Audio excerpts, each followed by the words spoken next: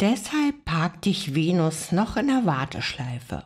Willst du dich endlich verlieben? Soll es unbedingt geschehen, das eine, auf das du schon so lange wartest? Deine Seelenliebe könnte, und da bist du dir ganz sicher, jederzeit vor deiner Tür stehen. Du wärst mehr als nur bereit dazu. Kommt dir diese Haltung bekannt vor? Dann haben wir heute gute und weniger gute Nachrichten für dich. Zuerst die guten. Du wirst nicht enttäuscht werden. Es gibt für jede und jeden von uns da draußen das perfekte Gegenstück. Die weniger gute Nachricht lautet, der Zeitpunkt, um einander zu treffen, muss der richtige sein. Warum das bei dir noch nicht der Fall sein könnte und weshalb du noch warten musst, das verraten wir dir in unserem heutigen Beitrag. Wenn du noch nicht Teil unserer Gemeinschaft bist, dann laden wir dich jetzt ein, unseren Kanal zu abonnieren, um zukünftig keine spannenden Beiträge mehr zu verpassen. Nummer 1. Du bist noch nicht bereit für die Liebe. Der wahrscheinlich häufigste Grund dafür, warum Amor und Venus dich schon eine gefühlte Ewigkeit auf der Ersatzbank geparkt haben, ist dieser. Du weißt es vielleicht nicht, aber wirklich bereit für die Liebe bist du noch nicht. Die höheren Mächte wissen sehr gut Bescheid über uns Menschen. Sie blicken uns direkt ins Herz und in die Seele. Und sie kennen die inneren Kämpfe, die wir täglich austragen.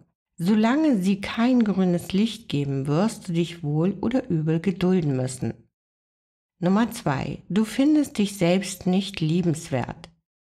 Ein weiterer Grund dafür, warum es mit dir und der Liebe einfach nicht klappen will, ist dieser. Du bist dir selbst gegenüber nicht loyal.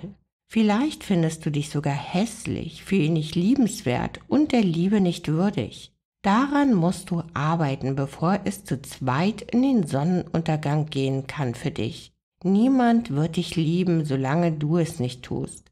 Diese Wahrheit muss dir nicht gefallen, aber sie entspricht der Realität. Nummer 3. Dein Beuteschema folgt den falschen Mustern. Jeder Mensch hat ganz bestimmte Vorstellungen von seinem idealen Partner. Wir wissen ganz genau, wie sie oder er zu sein hat und wie unser gemeinsames Leben aussehen soll. Das ist grundsätzlich nicht verkehrt, nur muss das, was wir wollen, nicht immer das sein, was uns gut tut. Die höheren Mächte sind hier schon einen entscheidenden Schritt weiter.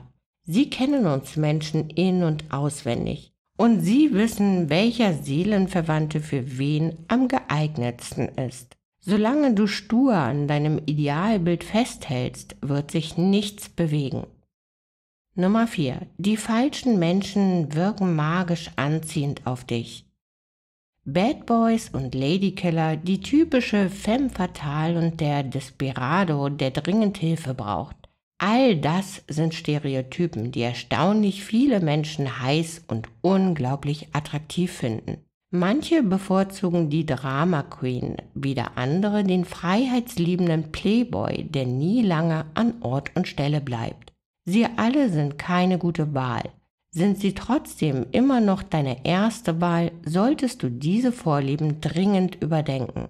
Auch andere Warnzeichen wie toxisches Verhalten, Kontrollzwang, Eifersucht und manipulative Psychospielchen sind Red Flags kein grünes Licht für die Liebe. Nummer 5. Du hast dein Vertrauen in die Liebe verloren. Traurigerweise kann auch das passieren. Und wenn dieses Vertrauen erst einmal Geschichte ist, hat die Liebe ihre liebe Not, um wieder einen Fuß in unsere Tür zu bekommen.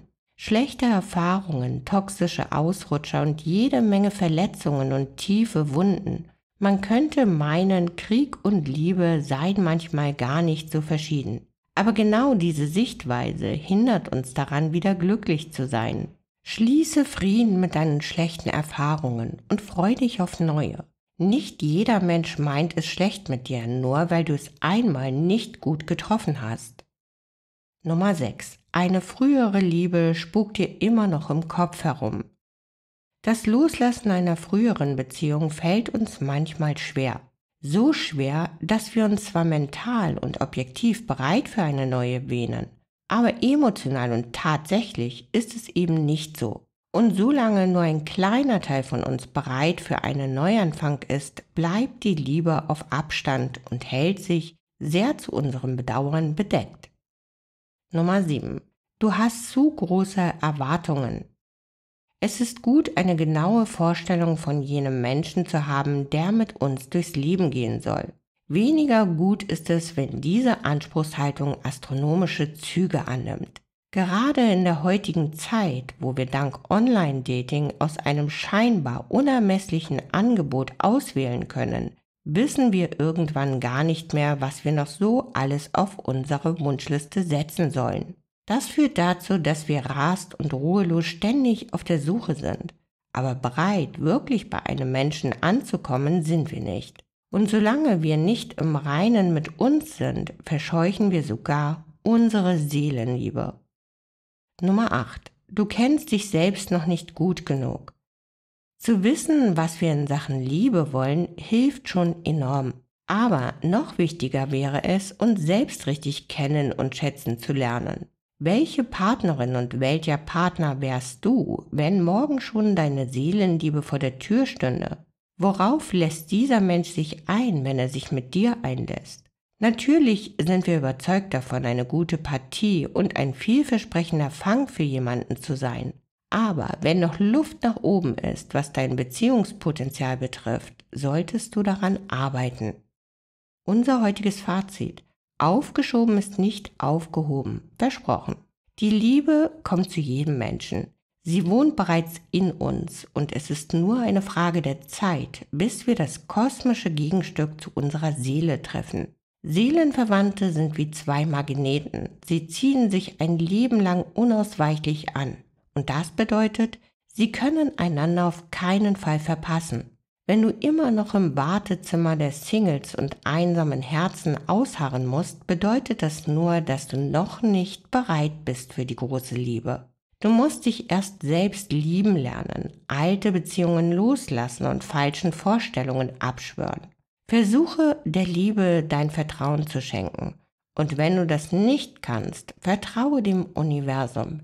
Es meint es gut mit uns und es hält für jede und jeden von uns alles bereit, was unser Glück ins Unendliche potenziert. Wenn du nur noch ein wenig warten und daran glauben kannst, wird es geschehen. Vielen Dank fürs Zuhören und bis bald.